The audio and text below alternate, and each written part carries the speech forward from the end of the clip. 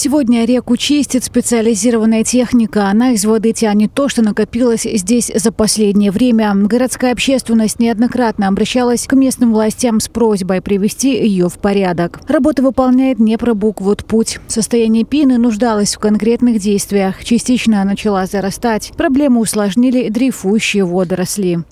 Речь идет за участок реки от э, моста и до ориентировочно до бронекатера БК-92 на территории парка, который расположен.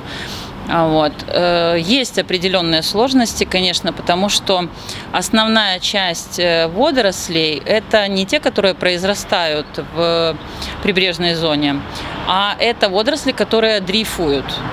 Да, и, как бы, конечно, проблематично их э, выловить так, чтобы именно с той методикой, которая применяется.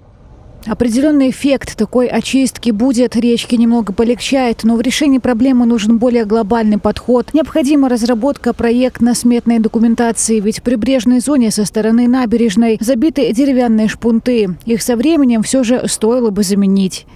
Если э, уже речь будет идти за углубление русла, да, за более такую серьезную очистку, то необходима разработка проектно-сметной документации. И объем финансирования там значительный. Там применяются довольно сложные технологии.